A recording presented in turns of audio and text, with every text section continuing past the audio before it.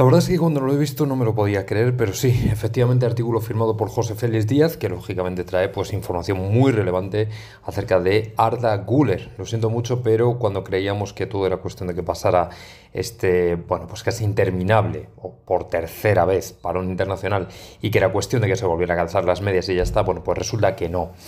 A ver, el tema es un poco más complejo de lo que parece. Arda Guller tiene un problema que es físico, que se le une a otro yo creo, por lo que da a entender José Félix, psicológico, o por lo menos emocional. Arda Guller lo que tiene ahora mismo es mucha presión encima. Y lo que quiere el Real Madrid es quitarle esa presión.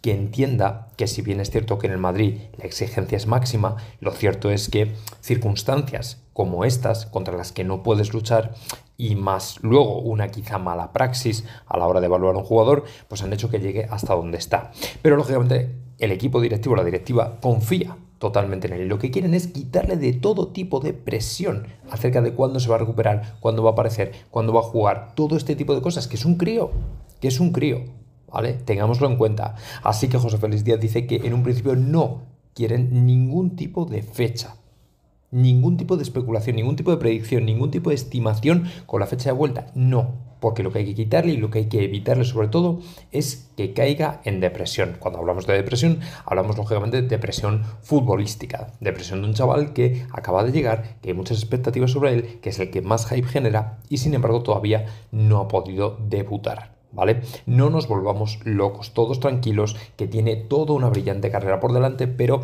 ha tenido este imprevisto malogrado lógicamente de 6-7 meses que se va a pegar en el dique seco, quizá alguno más, ¿vale? Pero no hay nada más. O sea, entendámoslo, malísima noticia, malísima noticia, cierto, porque todos teníamos muchas ganas, pero mucho ánimo también al Guller para que confíe, se recupere y vuelva al 100%.